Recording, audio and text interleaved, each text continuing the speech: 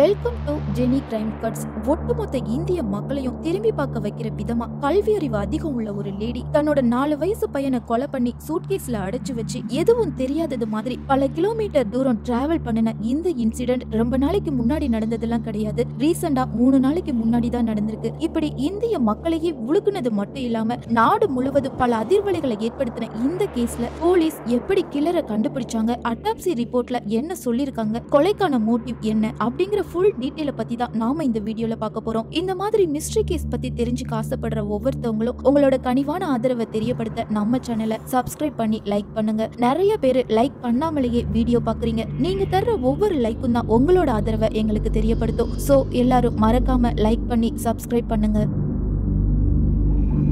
ரெண்டாயிரத்தி இருபத்தி நான்கு ஜனவரி ஆறு கோவா. சுஜானா அப்படிங்கிற ஒரு லேடி தன்னோட நாலு வயசு மகனை கூட்டிட்டு கோவாக்கு வந்திருக்காங்க. இப்படி கோவாக்கு வந்த சுஜானா வடக்கு கோவா கேண்டோலின் கடற்கரை பக்கத்துல இருக்கிற சர்வீஸ் அபார்ட்மெண்ட் ஹோட்டல்ல ஜனவரி ஆறாம் தேதி செக் இன் பண்ணிருக்காங்க. ரெண்டு நாட்கள் அந்த ஹோட்டல்லையே ஸ்டே பண்ணின அந்த லேடி ஜனவரி எட்டாம் தேதி காலையில பெங்களூர் போறதுக்காக செக் அவுட் பண்ணிட்டு அங்கிருந்து கிளம்பியிருக்காங்க. சுஜானா அந்த அபார்ட்மெண்ட்டை விட்டு கிளம்பினதுக்கு அப்புறம் அந்த ஹோட்டல்ல வேலை பார்க்குற சில ஊழியர்கள் எப்பவும் போல அந்த ரூமை கிளீன் பண்றாங்க. அப்படி அந்த ரூமை கிளீன் பண்ணின ஊழியர்கள் அந்த ரூம்ல இருந்த சில விஷயத்த பார்த்து ஷாக் ஆகுறாங்க. இப்போ அவங்க பார்த்த அந்த விஷயத்த ஓடி வந்து அந்த ஹோட்டல் மேனேஜர் கிட்ட சொல்லிட்டு போலீஸ்க்கு இன்ஃபார்ம் பண்ணிருக்காங்க இந்த டைம்ல அந்த ஹோட்டல்ல வேலை பாக்குறவங்க அப்புறம் ஹோட்டல் மேனேஜர் அப்படின்னு எல்லாரும் அந்த ரூம்ல என்ன நடந்திருக்கும்னு அவங்களுக்குள்ளேயே பேசிட்டு இருக்கிற இந்த டைம்ல கேலங்கட் போலீஸ் அந்த ஹோட்டலுக்கு வந்திருக்காங்க. அந்த ஹோட்டல்ல ஒர்க் பண்றவங்க போலீஸ் கிட்ட என்ன சொல்றாங்கன்னா சுஜானா ஜனவரி ஆறாம் தேதி ஃபோர் நாட் ஃபோர் அப்படிங்கிற ரூம்ல தான் ஸ்டே பண்ணினாங்க. செக் அவுட் பண்ணிட்டு அந்த லேடி கிளம்புனதுக்கு அப்புறம் நாங்க ரூமை க்ளீன் பண்ண போனோம். அப்படி க்ளீன் பண்ணிட்டு இருக்கும்போது பாத்ரூம்ல ரத்த கரைகள் இருந்தது.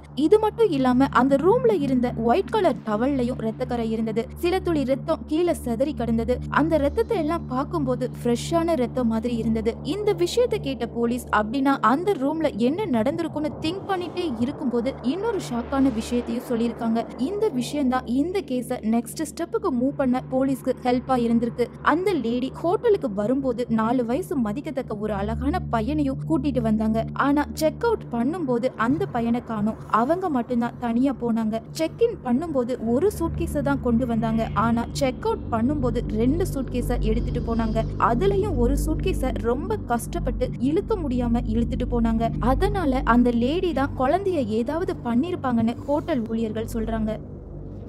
இந்த விஷயத்தெல்லாம் கேட்ட போலீஸ் அந்த லேடியோட கான்டாக்ட் நம்பர் இருக்குதான்னு கேக்குறாங்க. இந்த டைம்லயும் மறுபடியும் கூட கொஞ்சம் ஷாக் கொடுக்குற மாதிரி ஹோட்டல் மேனேஜர் சில விஷயத்த போலீஸ் கிட்ட சொல்றாங்க. அந்த விஷயம் என்னன்னா சுஜானா செக் அவுட் பண்ணும்போது எனக்கு முக்கியமான வேலை இருக்கு. அதனால நான் உடனே பெங்களூர் போகணும். பெங்களூர் போக கால் டாக்ஸி ஏதாவது ஏற்பாடு செய்ய முடியுமான்னு கேட்டிருக்காங்க. அதுக்கு ஹோட்டல் மேனேஜர் என்ன சொல்லிருக்காங்கன்னா அர்ஜென்டான ஒர்க்குன்னு சொல்றீங்க. கால் டாக்ஸில போறதுக்கு பதிலா பிளைட்ல போனா தொண்ணூறு நிமிஷத்திலேயே பெங்களூர் போயிடலாம் பணமும் மிச்சமாகும் டயர்டாகவும் இருக்காது. ஆனா கால் டாக்ஸில போனா அறநூறு கிலோமீட்டர் டிராவல் பண்ணணும். அதனால டைம் தான் வேஸ்ட் ஆகும்னு பல தடவை சொல்லியும் நாங்க சொன்ன எந்த ஐடியாவையும் அந்த லேடி கேட்காம பிடிவாதமா கால் டாக்ஸி தான் வேணும். சோ கால் டாக்ஸிய சீக்கிரம் வர சொல்லுங்கன்னு சொல்லியிருக்காங்க. அந்த லேடி எல்லாத்தையும் இப்படி அவசர அவசரமா செஞ்சதுனால போலீஸ்க்கு அந்த லேடி மேல டவுட் வருது. அதனால டாக்ஸில போயிட்டு இருந்த அந்த லேடிக்கு கால் பண்ணின போலீஸ் நீங்க ரெண்டு நாளா ஸ்டே பண்ணியிருந்த ரூம்ல ரத்த கரையா இருக்குது. அதுக்கு என்ன காரணம்னு கேட்டதுக்கு அந்த ரத்தக்கரை என்னோட பீரியட்ஸ்னு சொல்றாங்க.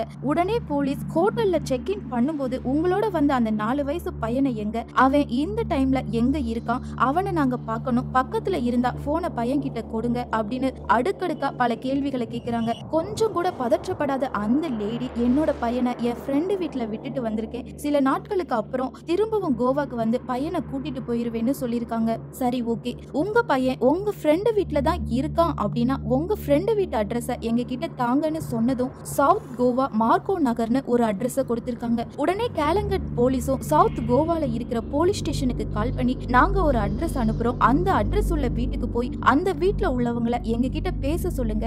அப்படியே அந்த வீட்டுல நாலு வயசு பையன் இருக்கான்னு பாருங்க. நார்த் கோவால ஒரு கேஸ் போயிட்டு இருக்கு சோ எமர்ஜென்சி எவ்வளவு சீக்கிரம் முடியுமோ அவ்வளோ சீக்கிரம் அந்த அட்ரஸ் உள்ள வீட்டுக்கு போங்கன்னு சொல்றாங்க. இந்த டைம்ல சவுத் கோவா போலீஸ் சுஜானா கொடுத்த அந்த அட்ரஸ் உள்ள வீட்டை பல இடத்துல தேடுறாங்க. பல இடத்துல தேடியும் அந்த அட்ரஸ் உள்ள வீடு எங்கேயும் இல்ல. அந்த லேடி சொன்ன அட்ரஸ் ஃபேக்குன்னு தெரிஞ்சுக்கிட்ட கேலங்கட் போலீஸ் புத்திசாலித்தனமா ஒரு விஷயத்த பண்றாங்க. அந்த ஹோட்டல் மேனேஜர் தான் சுஜானாவுக்கு கால் டாக்ஸி ஏற்பாடு பண்ணி கொடுத்திருக்காங்க. அப்படின்னா டாக்ஸி டிரைவரோட நம்பர் இவங்க கிட்ட இருக்கும்னு திங்க் பண்ணின போலீஸ் டாக்ஸி டிரைவரோட மொபைல் நம்பரை வாங்கி கால் பண்றாங்க. கால் அட்டன் பண்ணி பேசின டாக்ஸி டிரைவர் கிட்ட நாங்க கோவா போலீஸ் பேசுறோம். நீங்க எதுக்கும் பயப்படாம நாங்க சொல்ற விஷயத்த மட்டும் அப்படியே பண்ணுங்க. உங்க டாக்ஸில ஒரு லேடி இருக்காங்களான்னு கேக்குறாங்க. ஆமா சார்னு டாக்ஸி டிரைவர் சொன்னதும் இந்த டைம்ல உங்க டாக்ஸி எந்த இடத்துல போயிட்டு இருக்கோ அந்த பிளேஸ் பக்கத்துல இருக்கிற போலீஸ் ஸ்டேஷனுக்கு டாக்ஸிய கொண்டு போங்க. அந்த லேடி கிட்ட நாங்க சொன்ன இந்த விஷயத்த பத்தி எதுவும் சொல்லாதீங்க. உங்க ஃபேஸ்லயும் எந்த ஒரு பதற்றத்தையும் காட்டாம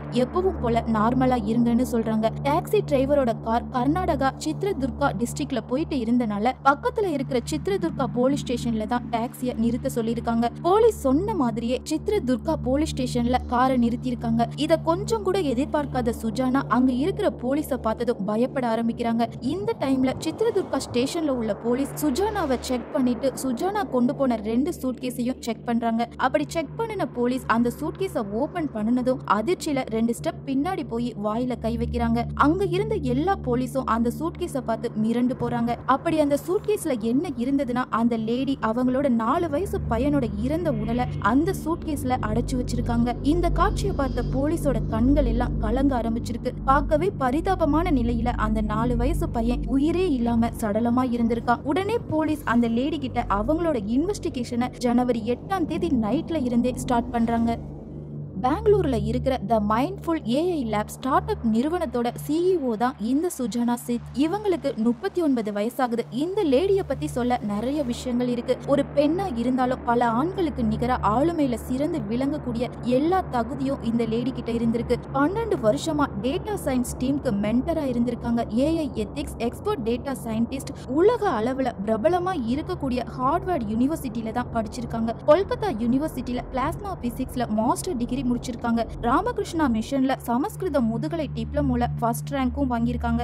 இது மட்டும் இல்லாம ரெண்டாயிரத்தி இருபத்தி ஓராவது வருஷத்துல பிரபல ஏஐ தொழில்நுட்பத்தோட சிறந்த புத்திசாலியான பெண்மணில ஒருத்தரா தேர்வு செய்யப்பட்டு விருது வாங்கியிருக்காங்க. இப்போ கூட அந்த நிறுவனத்துல தான் ஒர்க் பண்ணிட்டு இருக்காங்க. இப்பேற்பட்ட பல திறமையுள்ள லேடி தான் பத்து மாசம் சுமந்து பெற்ற தன்னோட நாலு வயசு பையனை கொலை பண்ணி சூட்கேஸ்ல அடைச்சது. இந்த லேடியோட சொந்த ஊர் மேற்கு வங்கம். ஆனா இப்போ பெங்களூர்ல தான் ஒர்க் பண்றாங்க.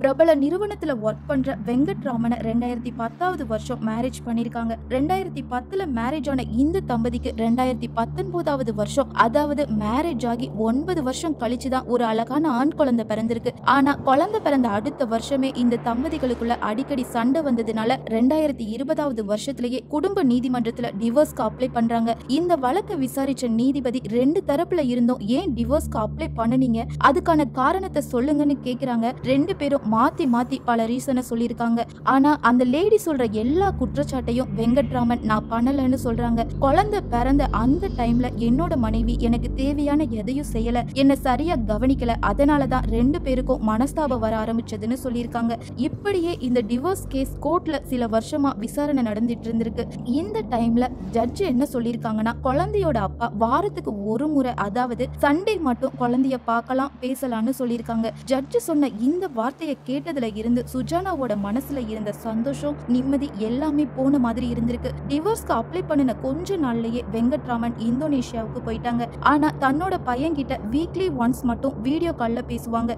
வெங்கட்ராமன் அடிக்கடி தன்னோட பையன் கிட்ட வீடியோ கால்ல பேசுறது சுஜானாவுக்கு பிடிக்கல. இதனால சில நாட்களாவே மன உளைச்சல்ல இருந்த அந்த லேடி ஜனவரி ஆறாம் தேதி தன்னோட பையனை கோவாக்கு கூட்டிட்டு போய் கொலை பண்ணிட்டு சூட்கேஸ்ல அடைச்சு கார் டாக்ஸில பெங்களூருக்கு வந்துட்டு இருந்திருக்காங்க. இந்த டைம்ல தான் போலீஸ்டையும் மாட்டிருக்காங்க இந்த கேஸ்ல இன்னொரு விஷயம் என்னன்னா தன்னோட மகனை கொலை பண்ணின அந்த லேடி தானும் தற்கொலை பண்றதுக்காக சிசரை வச்சு தன்னோட இடது கை மணிக்கட்டை அறுத்திருக்காங்க. ஆனா ரொம்ப நேரமாகியும் அவங்க சாகாததுனால கொலை பண்ணின அந்த நாலு வயசு பையனை மட்டும் சூட்கேஸ்ல அடைச்சிட்டு பெங்களூர் கிளம்புனாங்கன்னு சொல்லப்படுது. இந்த லேடியோட கையில இருந்து வந்த ரத்தம் தான் அவங்க ஸ்டே பண்ணின அந்த ரூமோட டவல்லையும் பாத்ரூம்லயும் இருந்திருக்கு. இப்போ அட்டாப்சி ரிப்போர்ட்ல கொலைக்கு என்ன காரணம் சொல்லியிருக்காங்கன்னு பார்க்கலாம்.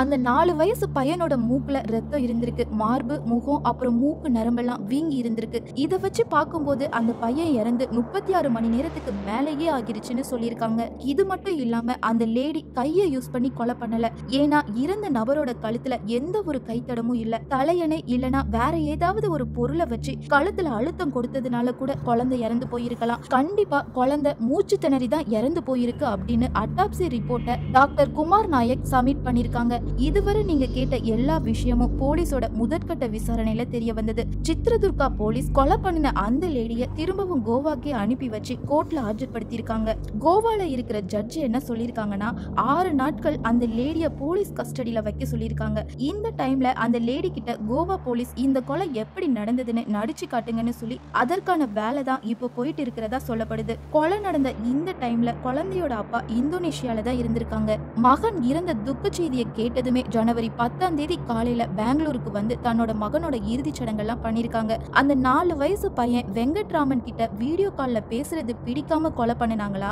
இல்ல இப்படியே பேசி பேசி தன்னோட பையனை நம்ம கிட்ட இருந்து பிரிச்சு கூட்டிட்டு போயிருவாங்க.